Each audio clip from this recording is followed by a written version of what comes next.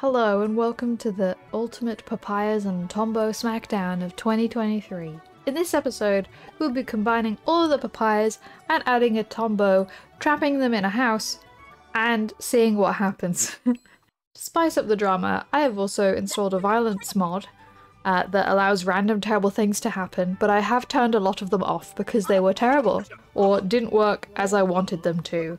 I spent a lot of time redoing this again and again because it wasn't working how it was supposed to work. so I had to turn off a bunch of the added violence mod stuff, but you'll see the thing I kept in. Please ignore that we start three minutes in. Uh, it's because I forgot to age up one of the papayas and I accidentally went with them to school and it was just a long three minutes of a loading screen going back and forth, so I've cut that out. Okay, at this point, I remember that lot challenges exist, and I add in uh, a mean vibe, cursed, filthy, groggy, a quake zone, volcanic activity, and spooky traits. So it basically gives them a lot of debuffs, and sometimes random events happen from it.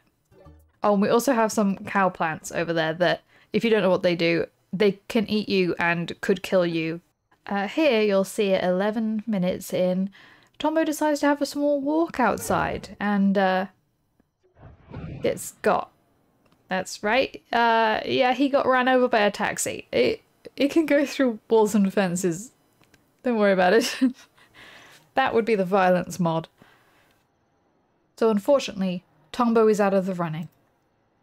And we're back at 15 minutes to papaya number 4, unfortunately, taking the same fate as Tombo and in the same place and got got. They got got. And then something weird happens. So Death hangs out for a bit and goes to talk to Papaya number three. They have a short exchange. He gets changed. And for some reason kills Papaya number three. And I have no idea why. It didn't come up in my little notification center. He just he I don't know whether he pissed death off, but he's gone now, so that was strange to come back to. Oh, watch out. Oh, no. How did papaya number five not see that taxi? They're out. out for the count.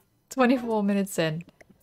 So our final female papaya has a shower, sees papaya number two dancing, gets so pissed and has a cardiac explosion.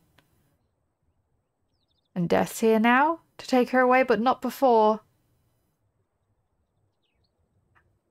Having a little spin. Gotta have a little spin before you do some Grim Reapering.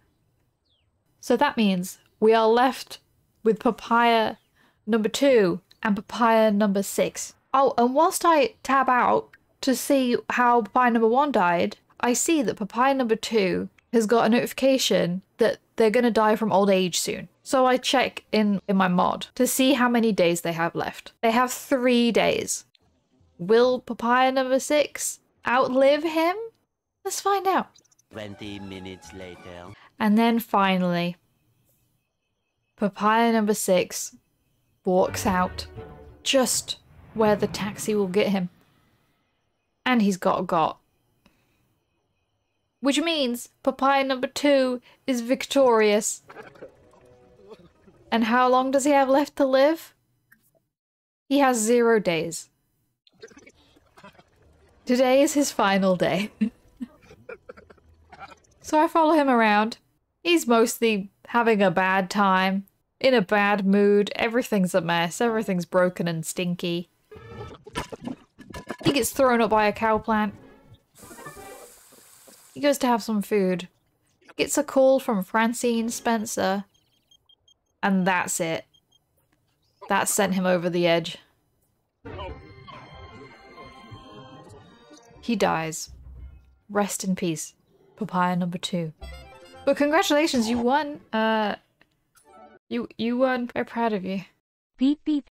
In the previous attempt, After 1 hour and 38 minutes papaya number 2 decided to be the twisted fire starter and set literally everyone but papaya number 4 on fire. Let me just take some notes on how to beat fire.